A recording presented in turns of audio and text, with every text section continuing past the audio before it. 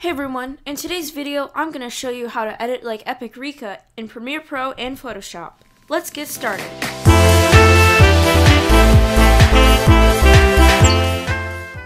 So what we're going to do in this tutorial, guys, is we're going to go step by step to creating an Krika style video. And although he uses Sony Vegas, I'll be teaching you how to do something similar.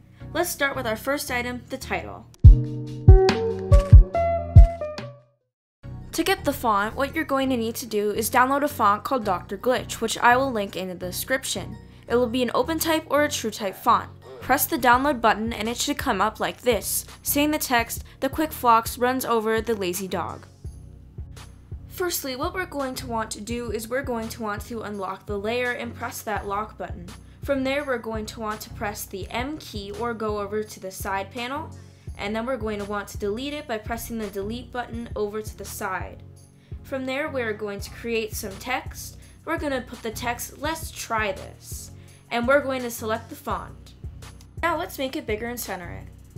Let's right click on the layer known as Let's Try This, also known as our first layer. From there, you are going to right click and click on an icon called Blending Options, which will lead us to this screen. To create the outlined effect in an object, we are going to press the icon that says stroke over here.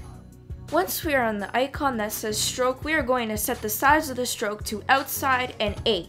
After we're done placing our stroke, click on the icon that's known as drop shadow.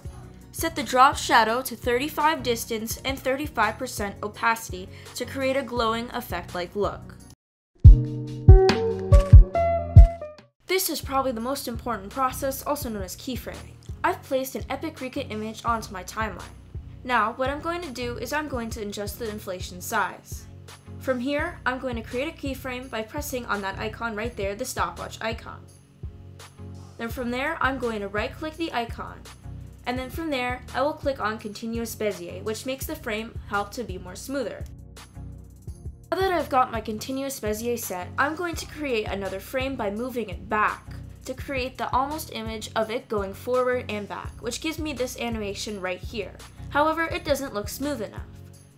With a 1920 by 1080 image, what I'm going to do now is I'm going to set the values to around 1000 to make it looks like it goes forward and it goes back, overall creating a more smoother animation. Now let's test how that looks in retrospective. As you can see, it gives us a swinging animation. Neat! Let's experiment with a sizing keyframe. So I've placed another image of Epikrika on our timeline. We're going to go back to effect controls and we're going to set the scale to around an appropriate size. We're going to move a frame forward, press the scale icon as seen here.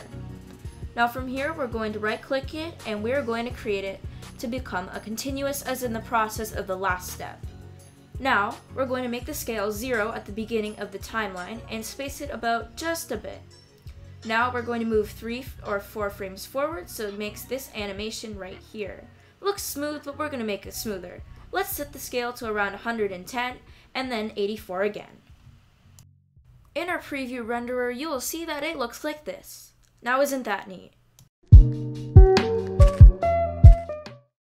We're going to do with this clip is we're going to apply effect on the side panel called Wave Warp. We're then going to place a continual keyframe there, and we're going to adjust the Wave Warp length. From the Wave Warp length, we are going to also turn that into a continual keyframe, and then we are going to set the wavelength to 1 to make it have a fade out transition. We are then going to set that off, and we are going to set the wave speed to around somewhere a high value. Then we're going to go back and set it to high value and then a low value, so therefore it comes out as a fade out transition. Let's see how that looks. See, it's pretty cool. That's all for today's video. I hope that you enjoyed this tutorial. Next time, I'll try and make a shade tutorial. If you'd like to download the resources, they will all be in the links in the description. Thank you very much for watching my video. I hope you can subscribe. See you in the next video.